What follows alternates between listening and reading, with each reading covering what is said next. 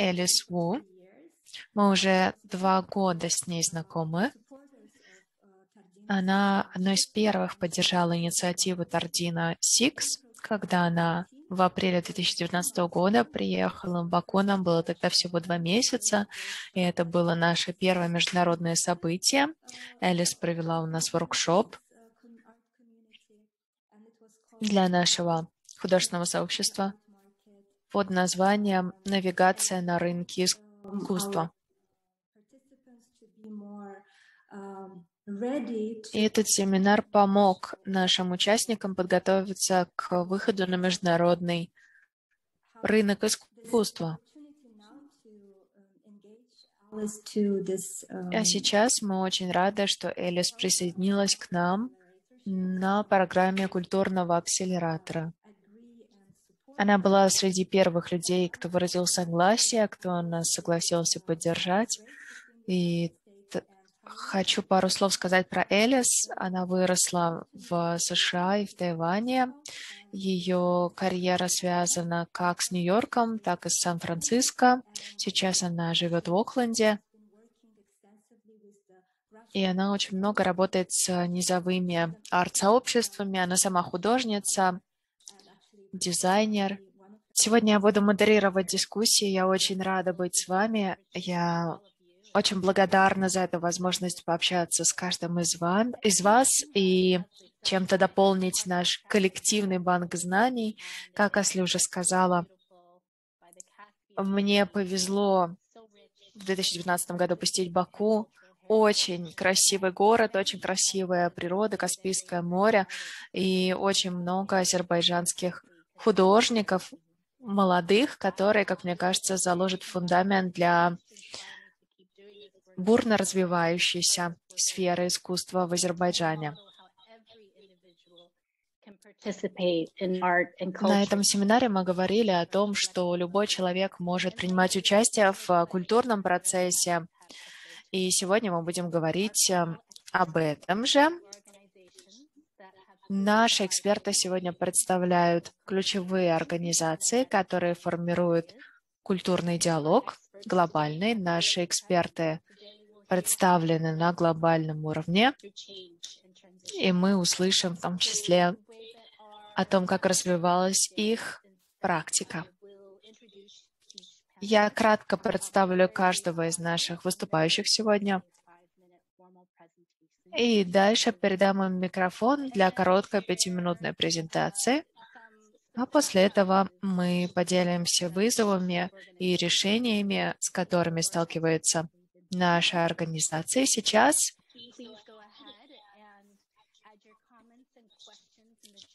Пожалуйста, пользуйтесь чатом, пишите комментарии, вопросы. Мы хотим, чтобы это обсуждение было инклюзивным, чтобы вы имели возможность участвовать. Мы будем следить за вашими вопросами, будем включать их в наше обсуждение. И, дорогие участники, вы также можете задавать свои вопросы. Хорошо. Теперь я перейду к нашим выступающим сегодня. Мэри Конлан она подключается к нам сегодня из Ирландии. Она основательница и художественный директор Уормстон Хаус в Лимерике. Она курировала и продюсировала 70 выставок с тремястами художниками из 26 разных стран. Вау! Опыт Мэри как художественного руководителя проекта «Креативная Европа». Memory Water проводился в шести разных городах. Также она выполняет роль а, международного советника, консультанта. Мэри публиковалась в большом количестве разных журналов. Сейчас она завершает написание своей докторской диссертации по курированию. Она раб работает не только в академии и не только с искусством и культурой. В прошлом году она начала а, сотрудничать с местным правительством. Большое спасибо. Я сейчас выведу свои слайды на экран. Видите ли вы карту?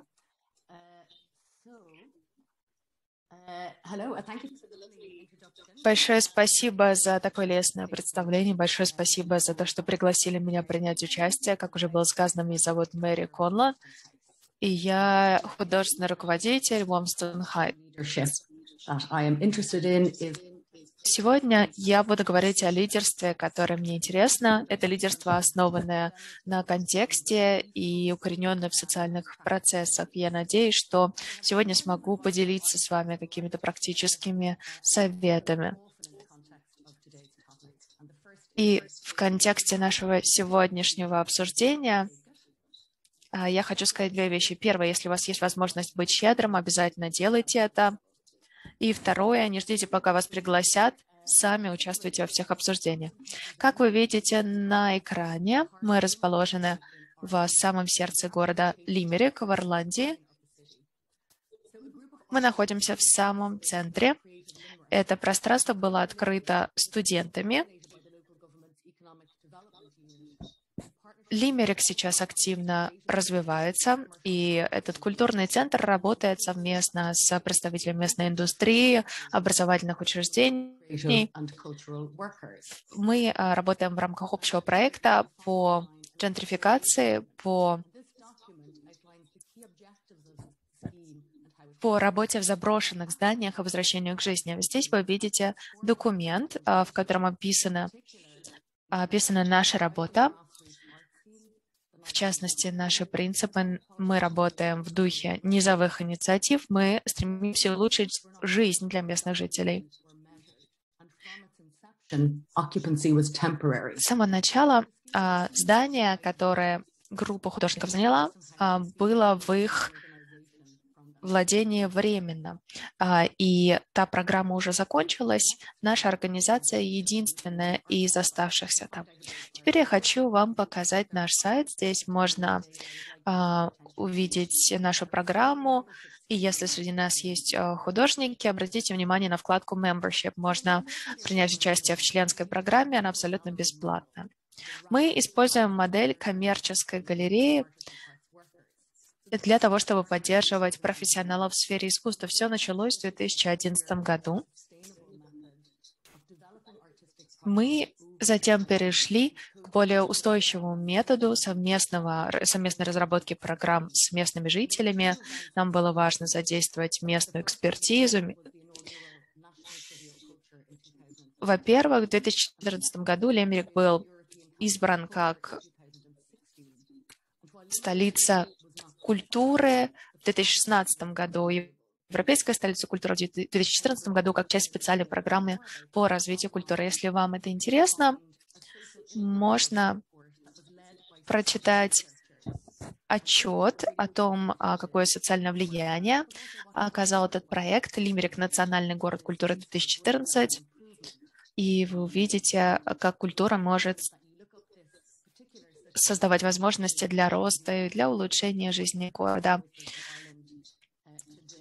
Нам повезло, мы работали с самыми заметными художниками э, современной Ирландии. В частности, советую вам Денис Муака Чайла, э, наш, э, наш дорогой друг и выдающаяся художница. У нас есть несколько программ, включая резиденции, выставки и встречи с местным сообществом. Также мы просто являемся пространством, где можно проводить время. Не нужно платить за вход, не нужно ничего покупать. Орстон Хаус — это безопасное пространство в нашем городе, и мы хотим, чтобы местные жители чувствовали, что это их дом. Мы всегда работаем с местным сообществом, и мы просим всегда обратную связь на все проекты, как от художников, так и от посетителей. Мы поддерживаем сообщество, мы предлагаем им различные схемы кооперации, коллаборации, и нам важно укореняться в местном сообществе. Для нас местное сообщество — это эксперты, мы их слушаем. Мы работаем также с художниками, с которыми нам удалось а, заручиться отношениями доверия. Вы можете также ознакомиться с нашим каналом на YouTube.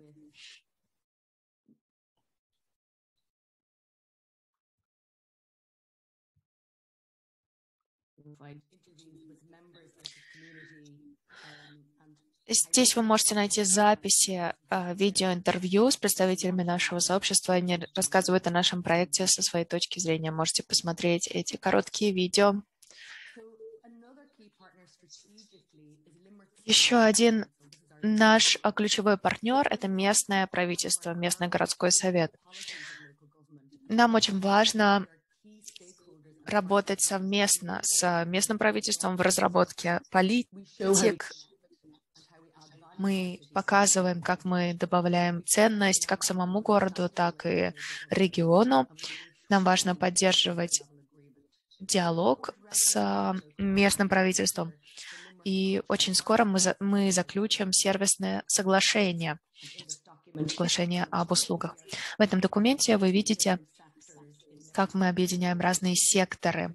Туризм, общественные организации, бизнес, розница, образование.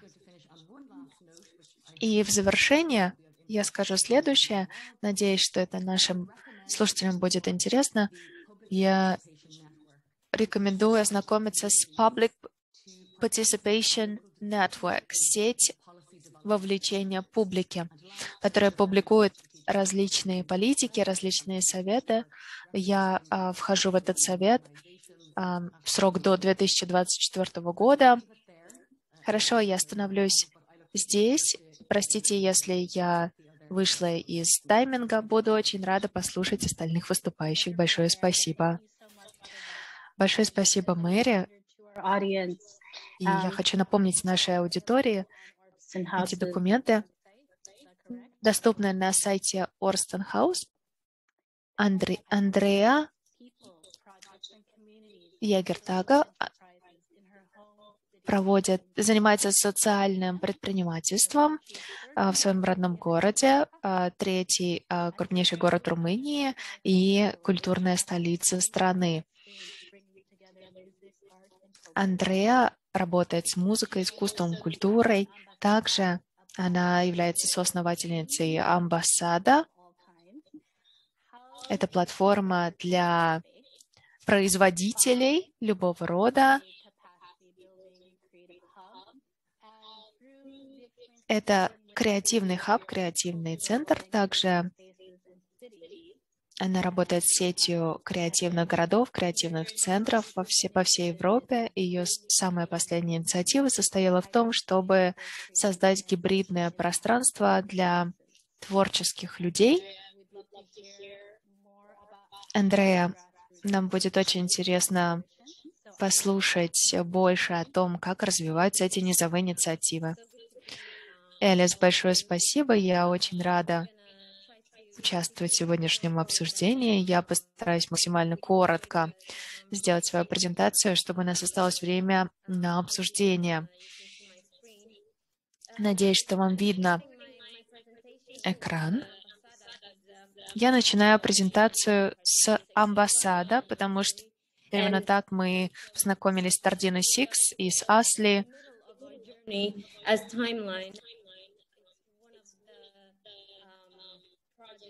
Амбассада — это один из проектов, который показал нам важность пространства. Начали свою деятельность мы в 2006 году. Тогда мы были группой молодых людей, нам было 19-20 лет, мы работали в разных сферах, мы обучались разным профессиям, и что для нас было важно, создавать решения и альтернативы для нашего сообщества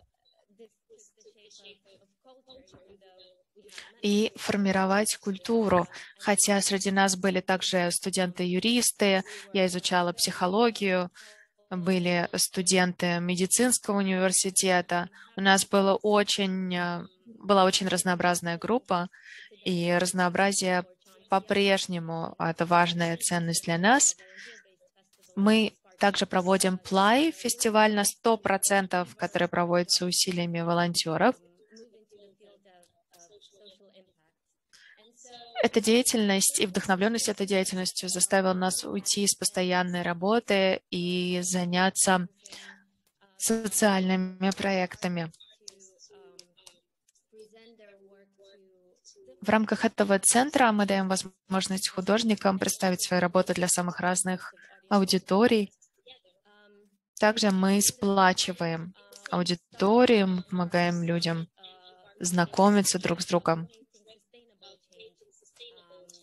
Для нас это долгий путь эм, создания долгосрочных, устойчивых изменений.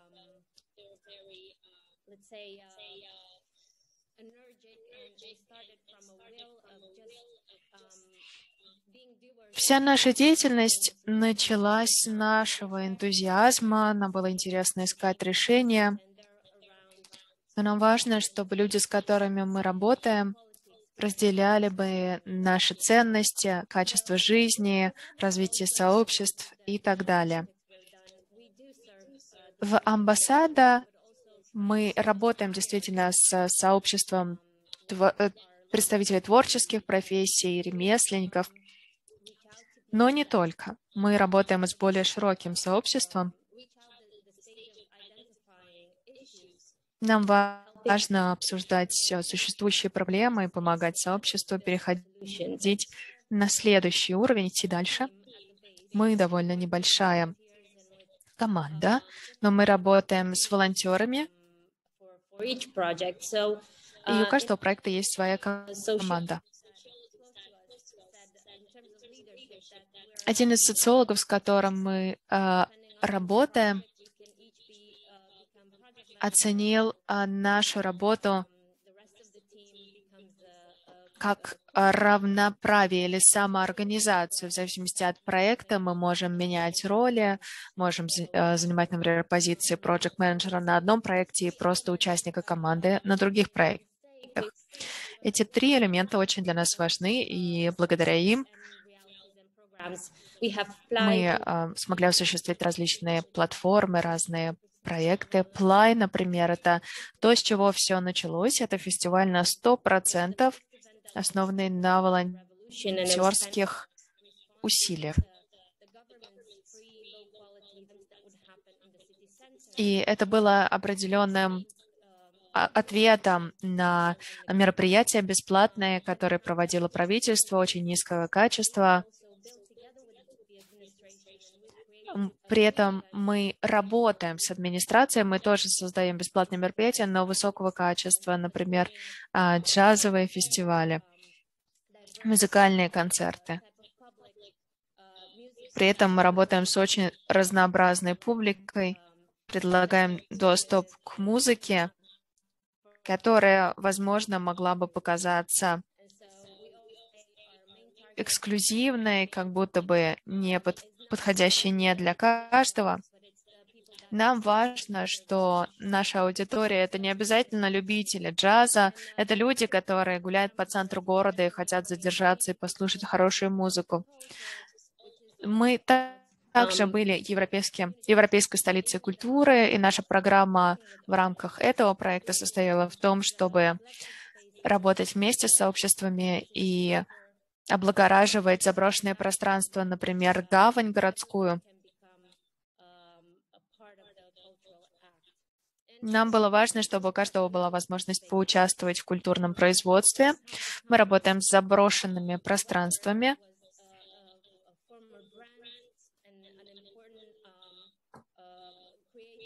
Фотографии вы видите на экране. Мы работаем с большим количеством таких зданий. Это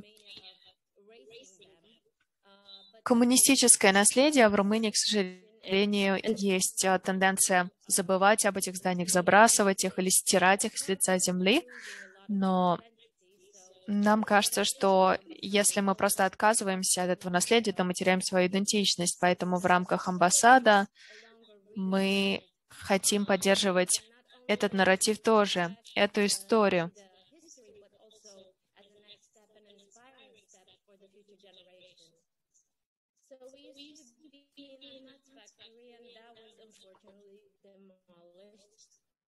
Также мы работали в фабрике по производству шляп. А, к сожалению, это здание снесли. Сейчас мы переехали в здание другое. Нам важно поддерживать предпринимательский дух, и нам важно, чтобы наши инициативы были устойчивыми, чтобы в каждой инициативе была какая-то бизнес-модель, модель устойчивого развития. Это не потому, что нам так нравится бизнес, мы это сделали из необходимости. Мы хотели, чтобы проект сохранялся, чтобы проект развивался, чтобы проект продолжал существовать.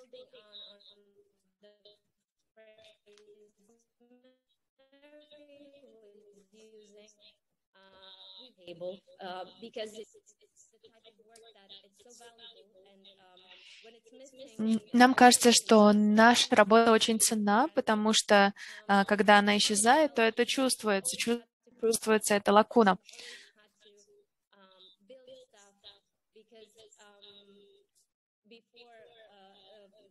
Мы постоянно создаем что-то новое. Нам важно работать с физическими пространствами. И э, когда мы только начинали и работали еще только на этапе идеи, нам показалось, э, казалось, что нам доверять никто не будет, кредита довер доверия у нас еще не было. Вот проект, который возник во время пандемии, это использованные контейнеры, как вы видите, которые превратились э, в пространство для креативных предпринимателей, художников, Сейчас у нас есть 12 резидентов, которые оплачивают аренду. Во время пандемии, во время локдауна мы поняли важность местных сообществ, как важно продумывать модель устойчивого развития. И сейчас это актуально как никогда. Нам по-прежнему важно, чтобы местные сообщества поддерживали то, что мы делаем. Или, по крайней мере, хотя бы знали о том, что мы делаем. Это тоже было проблемой.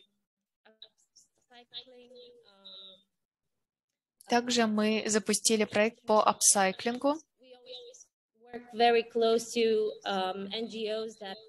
Мы работаем очень часто с НКО, который работает э, с социальными проблемами. Это часть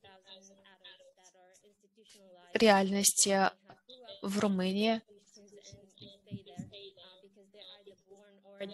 Мы работаем с людьми, которые содержатся либо в ПНИ, это наша печальная реальность, примерно 17 тысяч взрослых людей содержатся в а, таких заведениях закрытых, потому что они либо были рождены сиротами, либо они оказались в детстве сиротами, либо у них есть сталинная форма инвалидности. Мы работаем с такими людьми для того, чтобы э, давать им трудоустройство.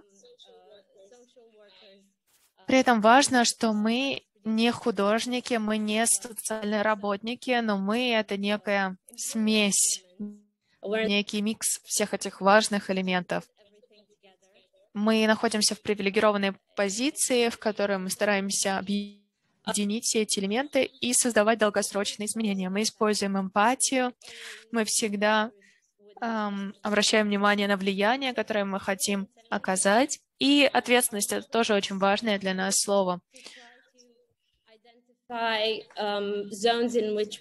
В рамках наших моделей мы всегда пытаемся определить, где возможно действие. Мы создаем прототипы, мы вовлекаем в обсуждение как можно больше разных людей. Мы стараемся вовлечь действительно всех.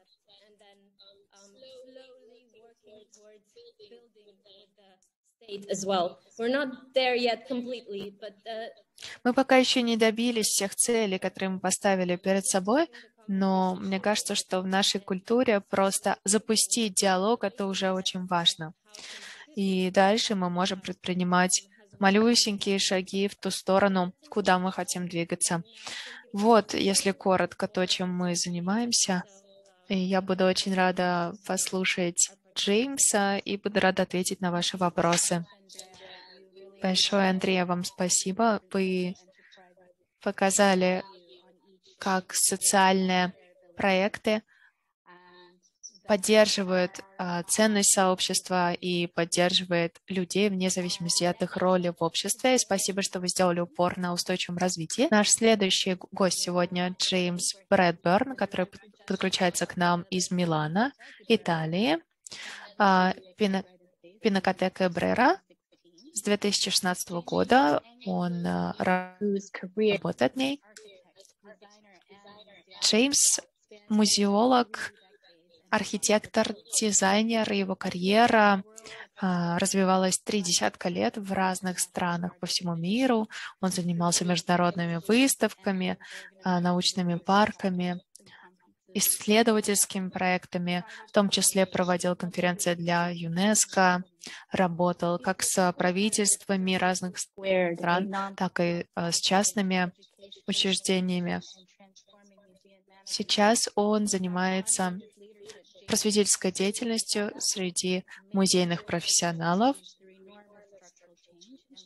Джеймс а, в том числе осуществил глубинные структурные изменения в нескольких крупных учреждениях культуры. Джеймс, пожалуйста. Большое спасибо.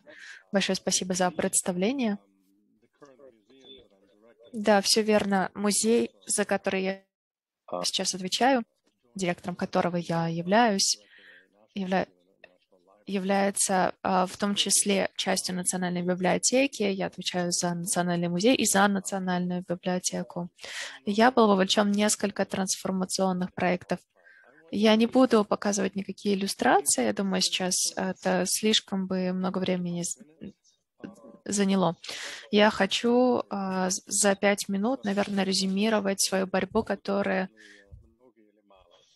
вел последние три тысячи лет. По-русски есть такая поговорка «пять минут – это ни много и ни мало», насколько я знаю, это из известной песни.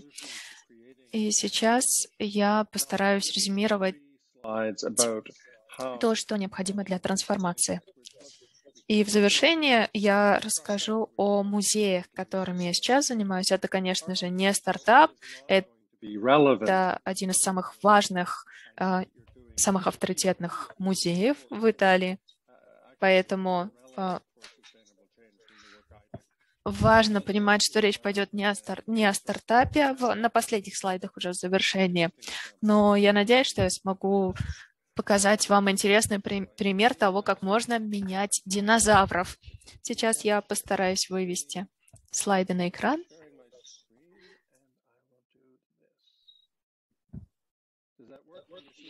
Все ли работает? Видите ли вы слайд? Прекрасно.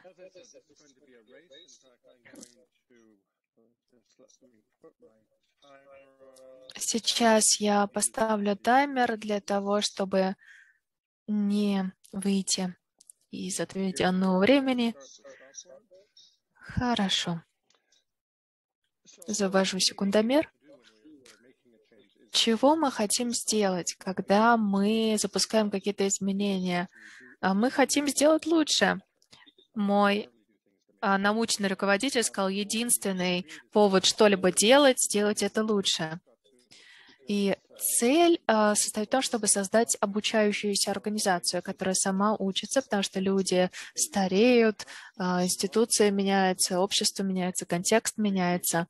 Наша задача создать не что-то для сейчас, а что-то, что сможет в будущем быть актуальным. То есть наша организация должна быть рефлективной, рефлексивной, отзывчивой, ответственной и экспериментальной. Но это все зависит от миссии, потому что первое, а, что вам нужно сделать, нужно сформулировать, о чем вы вообще, чем вы занимаетесь. И это одна из самых сложных задач в нашей работе.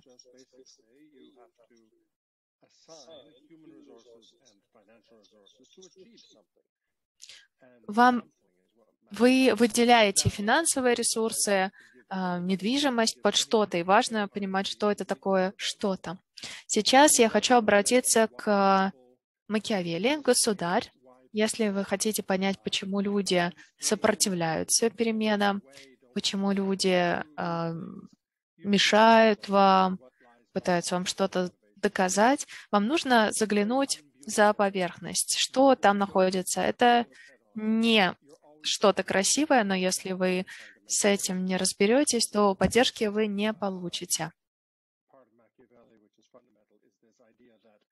Первое, что я хочу подчеркнуть в тексте Макиавелли, есть люди, которые уже э, хорошо устроились в системе, они меняться не хотят. А те люди, которые хотят внедрять изменения, не знают до конца, чего, к чему они стремятся. Нужно всегда работать с теми людьми, которые сопротивляются изменениям. Нужно э, так или иначе с ними разбираться. Мне кажется, что это самая полезная книга для менеджера «Государь Макиавелли». Следующая идея для меня важная – не синхронизация например, а, ваш отдел финансов не считает, что нужно финансировать какой-то проект, потому что им не кажется, что проект, который вы предлагаете, вообще валиден, вообще имеет смысл. И это, в свою очередь, связано с непрозрачностью. Чаще всего есть конфликты, которые даже не очевидны на поверхности. В некоторых культурах, например, в английской культуре, британской культуре, люди с улыбкой скажут, да, все прекрасно, а потом идут в офис и подкладывают вам свинку. Это уродливая механика осуществления изменений. Но если вы этого не поймете, то изменений вам не добиться. Вы просто не поймете, почему вас подставляют. Следующее. Компартментализация, разделенность на, отдель, на отделы, на задачи. Что это значит? Правая рука не знает о том, что делает левая. И если коммуникации нет, то это тоже будет мешать вам осуществлять изменения даже если изначально люди, может быть, не хотели ничего плохого, просто такие, такое создание изолированных герметических отсеков, фрагментация так или иначе будет вам мешать. И вы, наверное, все сталкивались с этой ситуацией, а, вы чего-то просите от людей, и один отдел передает тех задания другому отделу, и дальше третьему, и дальше запускается бесконечный процесс согласований. Третье. Стремление избежать э, риска. Это особенно справедливо для государственных учреждений. Им кажется, что риски можно свести к нулю. Это абсолютная глупость. Риска избежать нельзя. Четвертое. Инерция. Мы всегда работали именно так. Зачем нам меняться? И возвращаясь к Макиавеллю, действительно, системы, которые мы наследуем, работают для каких-то людей, для каких-то людей являются привилегированными. И это на самом деле глобальный вызов. Привилегии, которые мы унаследовали. Мне кажется, я больше всего плюсов получил от унаследованных привилегий среди наших а, выступающих. И важно помнить об этом. И Пятый пункт, который мне кажется важным, это идея функционера, функционарио по-итальянски, функционер по-французски. Предположение о том, что люди равноценны и взаимозаменяемы. Так можно относиться, например, к музыкантам, музыкантов нанимают за то, что они умеют а, играть на каком-то инструменте, и считается, например, что в оркестре музыканта можно свободно менять, но это не касается... На самом деле это не так. Люди — это не винтики в машине. Если мы возьмем музей, нельзя просто взять и заменить людей, ожидая, что они просто выполняют свою функцию. И оркестр тоже работает не так. Драйверы изменений, что подталкивает изменения? Важно делать проблемы открытыми для того, um, чтобы um, их можно было обсуждать. Важно указывать на их. Один из моих коллег говорит, документ — это общественное пространство, это как пьяца место, где можно высказываться. Если вы э, документы прячете, если они э, где-то хранятся у вас отдельно, никто их не видит, то это, в свою очередь, вызовет очень много дисфункций. Здесь я хочу вернуться к вопросу сопротивления.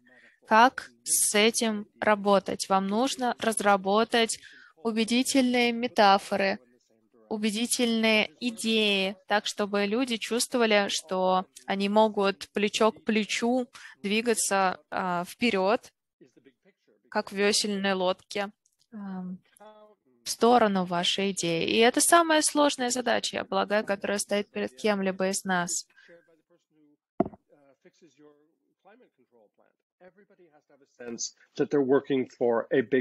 У каждого должно быть ощущение, что они работают для какого-то э, большего блага. В нашей работе это, возможно, более очевидно, чем в других работах, в других профессиях, но тем не менее забывать об этом нельзя.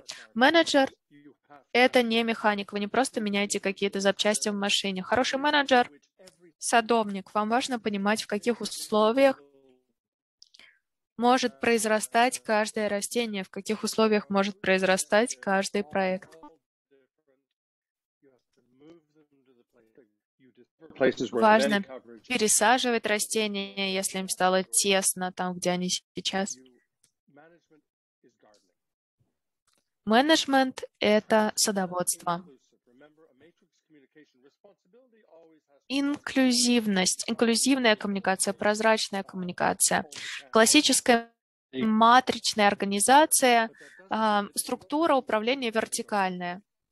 Но это не означает, что, коммуника... что коммуникация также происходит. Это не означает, что информация также распространяется. Информация должна распространяться горизонтально. Риск, чем больше риск, тем больше исследований надо проводить. Если вы чувствуете, что в, этом, в этот проект зашит э, сильный риск, идите к своим аудиториям, посоветуйтесь с ними, поговорите с ними. Слушание – это еще один фундаментальный аспект менеджмента управления. Слушание – это самый главный навык, который игнорируют в государственном секторе, в общественном секторе – я вижу, что, если говорить про государственные учреждения, повсюду никого не уважают, начиная от гендиректора и заканчивая уборщицей. И в завершение три слайда о том, чем мы занимаемся сейчас после пандемии. Идея в каком-то смысле очень простая. С одной стороны, ничего не меняется, с другой стороны, меняется все. Музеи не определяются своими коллекциями. Важно, что музей с этими коллекциями делает. Музей — это гостиная для сообщества. Это наши воспоминания, это наш дом. Это не про туризм, это не про доход, не про прибыль. Это как больница, наше общее место.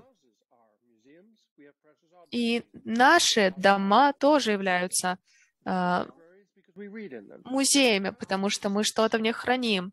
А наши дома в наших домах мы болеем, выздоравливаем, общаемся. Все общественные институции принадлежат сообществу. Это общее пространство. После коронавируса нам нужно будет поменять видение роли посетителя. Не потребление, а участие. Если это ваш дом, нельзя бояться в нем дышать, если вы в него приходите. Мы посещаем музеи с детства до старости. Может быть, я хочу сходить в музей, потому что у меня близкий человек умер, ушел из жизни, и я хочу посмотреть на что-то красивое, или я хочу прийти в музей для того, чтобы что-то узнать. Музеи должны быть открыты 24 на 7. Мы должны работать онлайн. Слава Богу, мы освоились в онлайне благодаря пандемии, и, разумеется, это онлайн-присутствие необходимо поддерживать и после пандемии. А, это должно стать так же привычно, как использование Spotify на, на э, телефоне. Но, конечно же, это не заменяет живые мероприятия, концерты, например.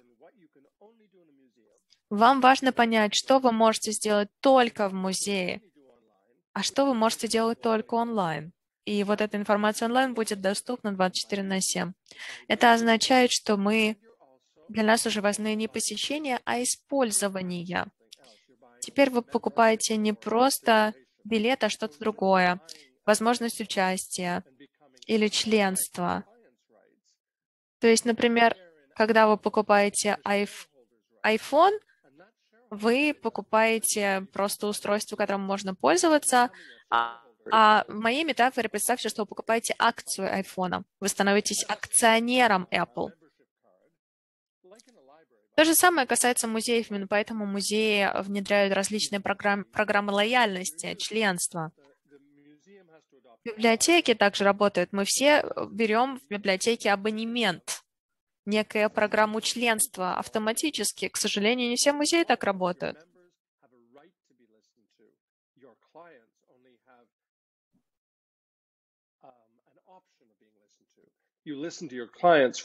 Необходимо слушать ваших посетителей. Это не клиенты, вы их не обслуживаете. Это люди, у которых есть членство в вашей организации, у них есть право быть услышанными.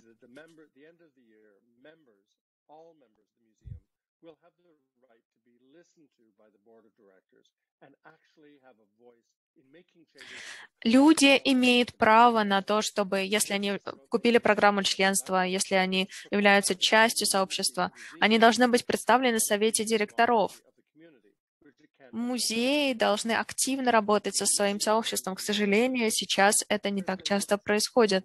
Музеи по-прежнему остаются консервативными, буржуазными а, институциями, которые обслуживают средний класс. И так будет продолжаться до тех пор, пока члены сообщества не смогут сесть за стол переговоров и не получат доступ к обсуждениям. У меня все. Потрясающе. Большое спасибо. Очень много пищи для размышлений. Джеймс показал нам ценность выдающейся визуальной метафоры, вернулся к государю Маки... Макиавелли. Обязательно надо перечитать этот текст. Спасибо за то, что вы говорили о смирении и о смелости. У нас очень много вопросов каждому из вас. Как в наше время выглядит лидерство? Джеймс, вы отвечаете за очень-очень большую, большую организацию. Вы капитан большого корабля. Расскажите, пожалуйста, о том, с какими вызовами вы сталкиваетесь и как вы с ними справляетесь. Ну, конечно же, не забывайте, что я присоединился э, к команде этого музея как э, иностранец. Это была первая инициатива в Италии на конкурсной основе э, нанимать э, между, международных директоров музеев. Раньше в основном это были люди, э, которые учились в одних и тех же учреждениях. В 2014 году произошла революция, 20 директоров было уволено, и были наняты другие люди в результате международного конкурса мне не доверяли, потому что, во-первых, я не искусствовед, я иностранец, я архитектор по образованию. Поэтому по всем фронтам мои слова спаривали, мне не доверяли.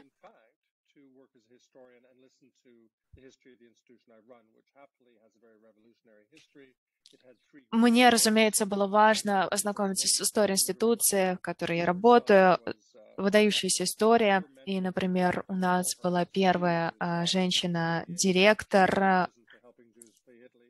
Одна, она была, попала в тюрьму за то, что помогала евреям в Италии. Все, всех этих людей, к сожалению, забыли. Всех этих выдающихся людей забыли. Это странно, что англо-канадец сейчас возвращает Италии память о выдающихся директорах музеев. Сейчас мое видение как директора — это социальный активизм, работа с сообществом. Первое, что я сделал, я остановил выставки. Я сказал, мы больше такие выставки не проводим. У нас есть, разумеется, постоянная экспозиция. Сейчас у нас есть программа музея «Вас дома». Мы э, предлагаем людям провести такую инвентаризацию, посмотреть, что у них есть дома. Э, мой главный вызов — это то, что я был аутсайдером по всем фронтам, но парадоксально мне удалось вернуть музею, сообществу историю, которую они сами забыли. Большое спасибо. Ценность слушания подчеркивалось каждым из вас. Я слышала, слышала это слово в разных презентациях, мне кажется, каждого из вас троих. Теперь я хочу передать слово Андрея. Расскажите, пожалуйста, как происходит общение с вашими стейкхолдерами.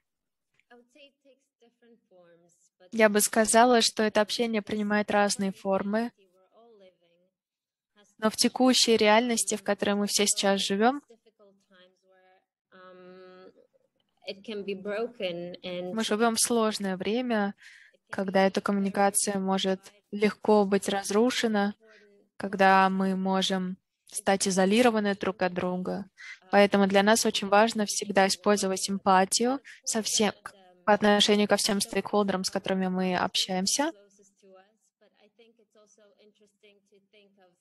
of the ones that are, are key and are they seem untouchable, untouchable and that you can't really communicate with them. Есть и такие стейкхолдеры, которые выглядят um, очень отстраненными, и с ними общаться не так просто, поэтому мы всегда начинаем с упражнения на эмпатию, особенно когда мы работаем с правительством в нашем случае.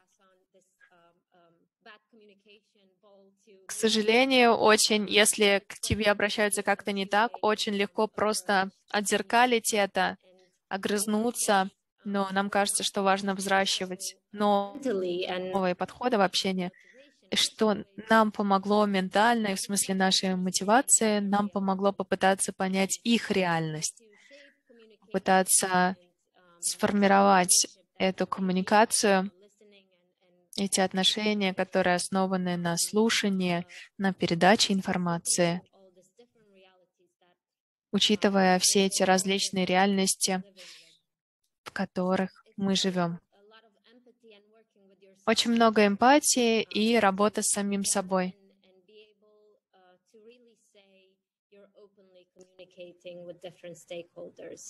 Поэтому нам важно открыто и с эмпатией работать со всеми стейкхолдерами.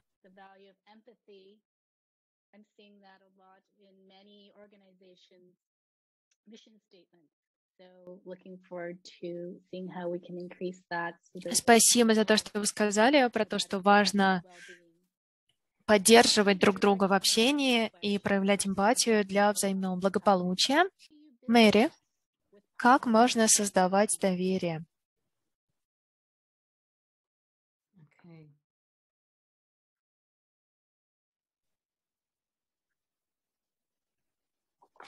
Uh, Отличный вопрос. Хочу сказать спасибо Джеймсу и Андрею за ваши презентации. Мне они очень понравились, и многое из того, что вы сказали, откликалось с тем, что, с чем я работаю. Мне это было очень интересно услышать. Если говорить о создании доверия с теми, кто предоставляет финансирование, важно понимать, что тут есть отработанные механизмы. Чаще всего это государственные деньги, э, какие-то уже установленные системы, и нам очень важно абсолютно прозрачно показывать, как эти деньги тратятся.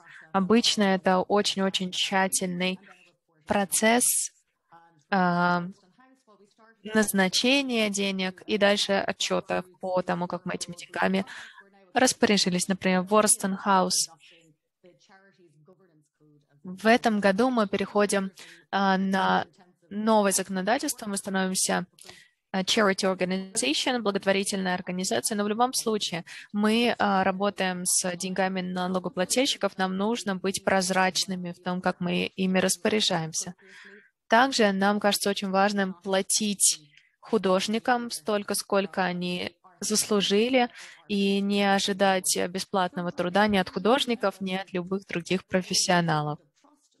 В течение нескольких лет, сколько мы работаем, а, доверие постепенно взращивалось. И если вы находитесь в диалоге с сообществами, с художниками, то ваша программа будет так или иначе отражать их интересы. Если говорить про тех, кто занимается разработкой политики развития, вот это очень интересно. И здесь я, наверное, вернусь к тому, что я говорила в своей краткой презентации, а именно создание сети общественного вовлечения. Мы работаем с э, местным правительством, и э, мы в том числе организуем сессии обсуждения так, чтобы местное сообщество могло так или иначе давать свою обратную связь или влиять на те правила, на те политики, которые принимаются. Таким образом, мы взаимодействуем с местными политиками.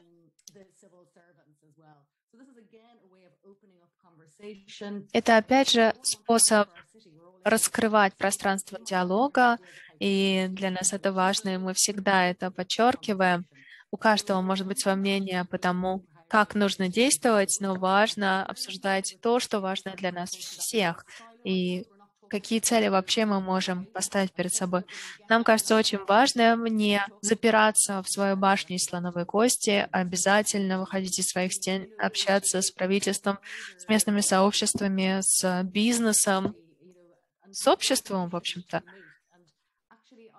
Мы делаем вклад в жизнь общества. I'd just like to add something to what Mary was saying, which is very, very true.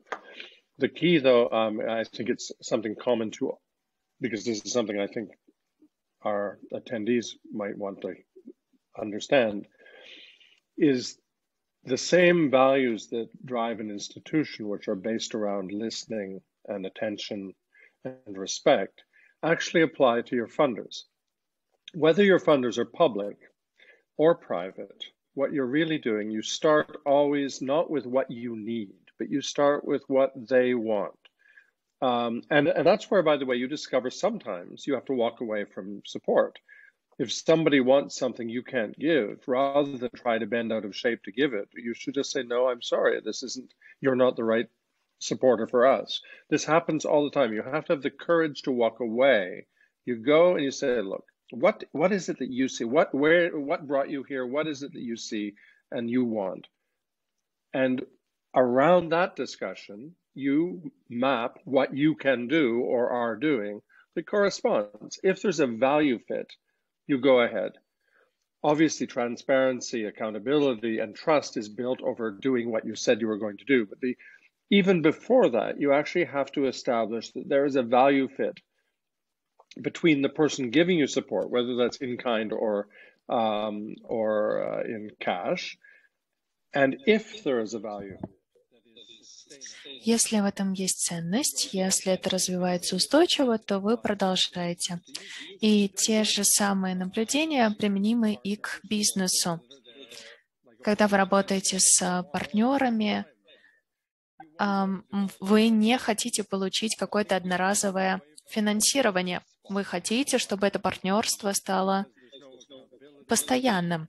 И это, разумеется, очень важно. Ситуации разные бывают. Иногда проект э, получается успешно, иногда нет.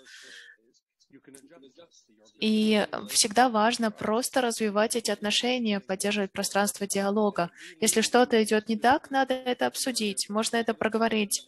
Да, вот здесь э, все пошло не так, как мы ожидали. И те же принципы применимы и к работе с сообществом, и к работе с вашими спонсорами. Я на сто процентов согласна с Джеймсом. Я бы хотела поделиться еще парой слов, которые я не упомянула в своем вступительном слове. Я, говори, я говорила о том, что у нас очень много разных инициатив, и Пару лет назад э, над нами нависла угроза, э, что мы потеряем то пространство, в котором мы сейчас находимся, и мы запустили общественное обсуждение. Например, на местном радио начали об этом говорить, э, в местных СМИ об этом начали говорить. И мы использовали это как возможность обсудить в целом ценность искусства и культуры. И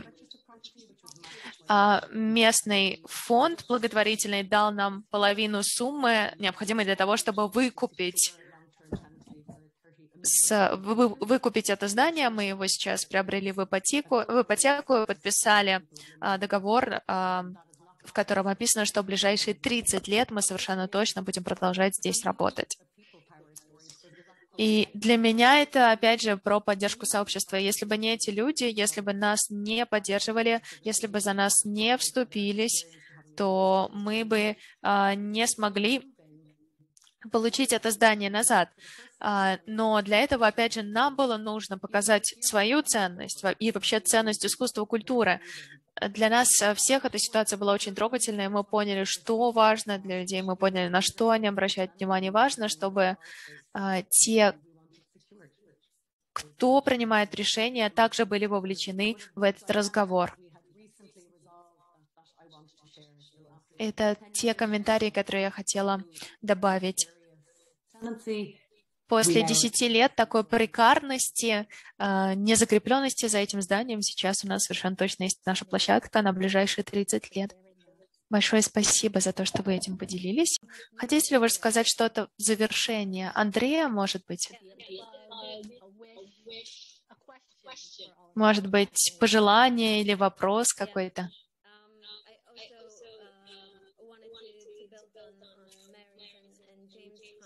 Я хотела добавить кое-что к комментариям Мэри и Джеймса.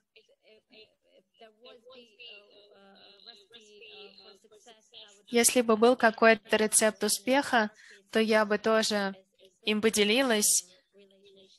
Но мне кажется, что никаких секретов здесь нет, это просто развитие долгосрочных партнерских отношений.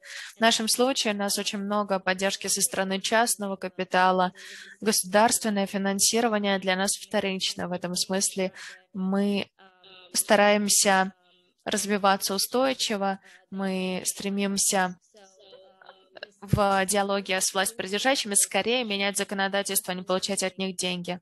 Мы постоянно поддерживаем связь с сообществом, постоянно проводим картирование стейкхолдеров, ресурсов.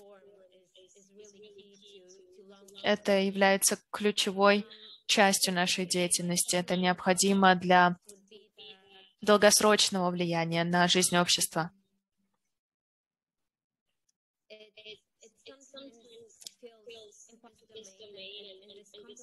Что еще сказать?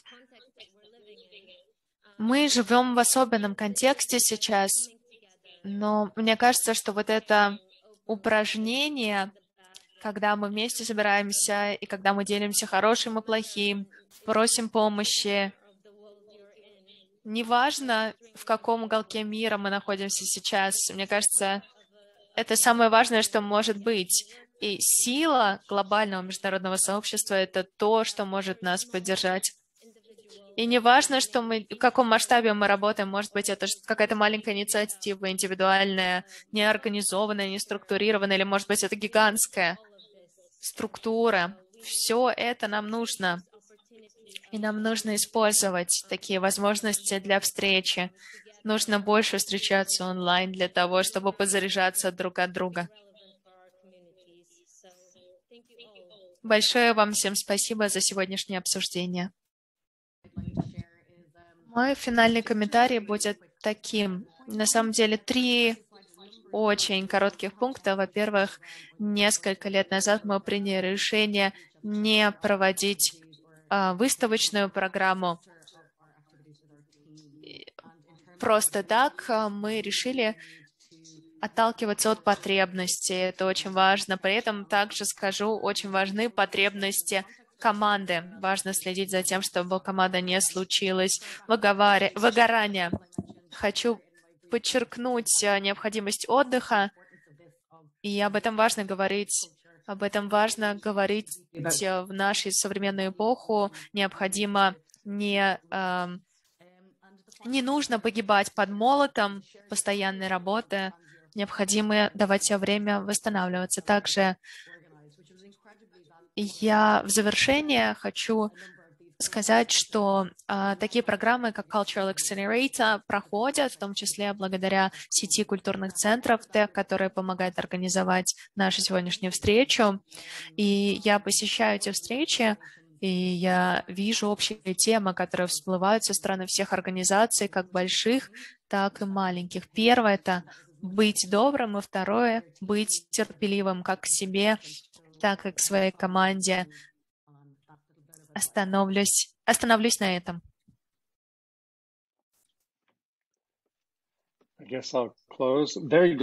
Что же, видимо, пришла моя очередь. Большое спасибо за это обсуждение. Что я замечаю в нашем обсуждении, и я очень часто это вижу, мне кажется, важно это подчеркнуть, мы испытываем давление, испытывать метафоры, идеи, процессы других людей. В 80-е нас заставляли думать о посетителях как о клиентах, потом нас заставляли думать о том, какие клиенты возвращаются, какие нет, если у нас лояльные клиенты. И да, разумеется, нам важно показывать, что мы ценны для сообщества. Это безусловно, но мне кажется, нам нужно быть очень осторожными с этим багажом метафор, которые на нас обрушивают. Я призываю вас думать о том, как вы видите мир, как вы осмысляете мир. Например, понятие успеха. Я бы тоже советовал с ним быть осторожным. Это не состояние, к которому мы стремимся, в котором мы хотим оказаться. Это не результат, которого мы ищем.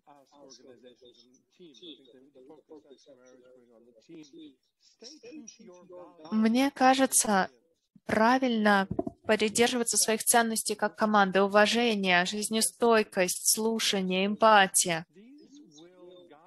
И это, в свою очередь, будет вести вас, направлять ваши движения. все, что вы будете делать, станет не результатом, а неким работающим прототипом. Я уже не молод, когда-то я был молод, и я вижу, что много изменилось за это время, и мое видение мира тоже меняется, хотя у меня есть и свои привычки тоже. Я надеюсь, что очень скоро кто-то в мире культуры возьмет все и перевернет, и начнет все делать иначе. Пожалуйста, не застревайте в своих привычных способах работы. Ваша аудитория меняется, общество меняется, культура меняется, меняет все, все. И вы, как э, хороший садовник, можете просто наблюдать за тем, что происходит. Важно не цепляться за то, к чему вы привыкли. Важно следить за ростом и за ценностями. У нас есть ценности, например, толерантность, терпимость, поддержка. Придерживайтесь своего морального компаса, а все остальное произойдет из этого. И хочу, конечно же, процитировать Стива Джобса «Stay hungry, stay foolish» «Оставайтесь голодными, оставайтесь глупыми». Не застревайте в привычках и оставайтесь легкими на подъем, на подъем, и тогда мы сможем создать тот мир, который мы все хотим видеть.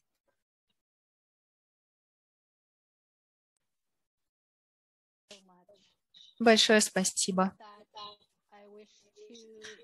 Мне кажется, это было прекрасное завершение. Большое спасибо всем участникам нашего обсуждения. Спасибо за то, что вы делились сегодня тем, что вы любите. Вы делились своими наблюдениями. Андреа, Мэри, Джеймс, большое вам всем спасибо. Вы дали нам очень много пищи для размышлений.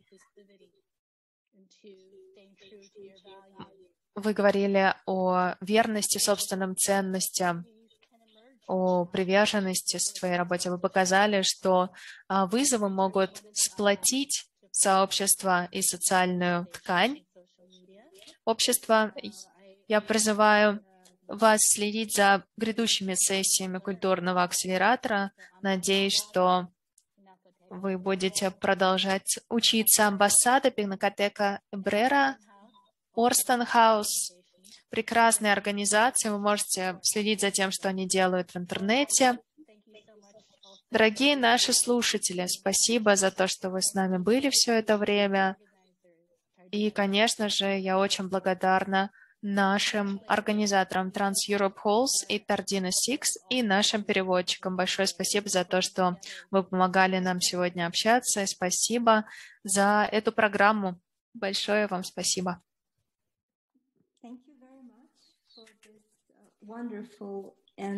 Спасибо за эту прекрасную, очень вдохновляющую сессию.